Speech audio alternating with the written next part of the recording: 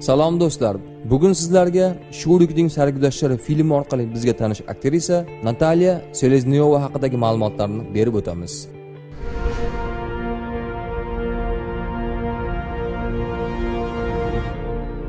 Aktrisa Natalya Seleznyova 1945-yil 19-iyunda Moskva shahrida tug'ilgan.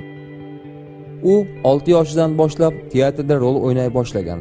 Sakkiz yoshidan boshlab esa filmlarda ham qatnasha boshlagan. Natalya Seleznyova 1966-yilda Moskvadagi teatr maktabini tamomlagan va shu yili Moskva akademik satira teatriga qabul qilingan.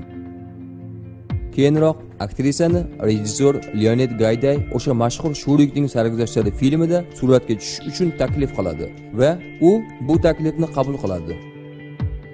Natalya Seleznyova ayni shu sho'rlikning sarguzashtlari va Ivan Vasilyevich o'z kasbini o'zgartiradi filmlardagi rollari orqali mashhurlikka erishadi.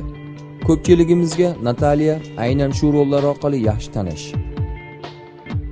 Ushbu filmlardan tashqari u faoliyat davomida 30 dan oshiq film va 10 dan oshiq spektakllarda ishtirok etgan. Aktrisaning shaxsiy hayoti haqida Natalya Seleznyova 1968-yilda rus aktyori Vladimir Andreyevga turmushga chiqqan. Hozirda ularning Yegor ismli bir o'g'illari va ikki nafar nabiralari bor. Bugungi kunda 78 yoshdagi bu aktrisa Moskva shahrida istiqomat qiladi. U haqda yana bir qo'shimcha ma'lumot. Natalya sportning futbol turiga qiziqadi. Ko'p yillardan beri u Rossiyadagi CSKA futbol klubiga muxlislik qiladi